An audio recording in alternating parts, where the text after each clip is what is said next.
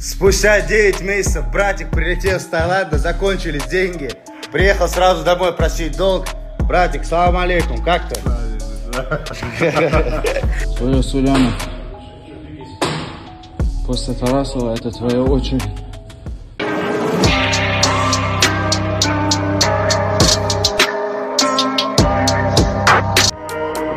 Словесный конфликт между Альфредо и Паханом на полигоне под названием «Социальные сети» вполне может закончиться боем в клетке. Шамиль Галимов написал, что его оппонент по перепалкам все-таки добился своего, и он готов принять чуждые ему правила, чтобы наконец закрыть с ним вопрос. «Альфреда, я молчу, ничего не говорю, но ты не сдаешься. Я готов с тобой по ММА подраться. Я в жизни по ММА не выступал, но тебе я покажу, что ты ноль и воздух», написал Галимов. Тем временем Альфредо продемонстрировал, что активно готовится в зале, нарабатывая не только партер, и ударную технику. И если сложится все удачно, то вполне возможно мы увидим их бой по правилам смешанных единоборств, и для Пахана он станет дебютным. Но и много факторов также могут воспрепятствовать этому. К примеру, аппетит Альфреда, который недавно заявил, что его гонорары начинаются от 8-10 миллионов, и это следствие не его бойцовских навыков, а медийной раскрученности. Ну, поживем увидим. А ждете ли вы этот бой по правилам ММА?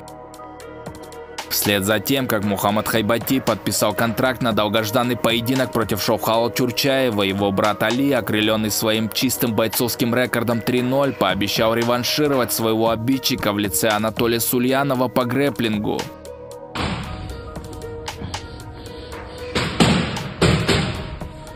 Почти уже весы.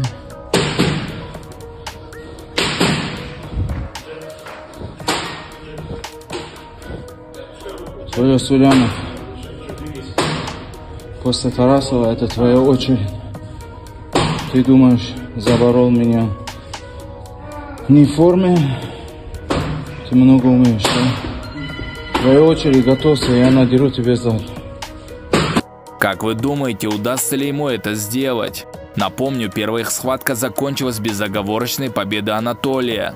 А на данный момент Пер-старший готовится к бою против Артема Тарасова, который разогревался еще на хардкоре, но впоследствии перекочевал на наше дело. Поединок по правилам бокса в ММА перчатках состоится 26 апреля. А кому вы отдаете предпочтение в этом противостоянии? Пишите ваше мнение в комментариях, не скупитесь на лайки и обязательно подпишитесь на канал, чтобы всегда держать руку на пульсе самых горячих событий в нише ММА.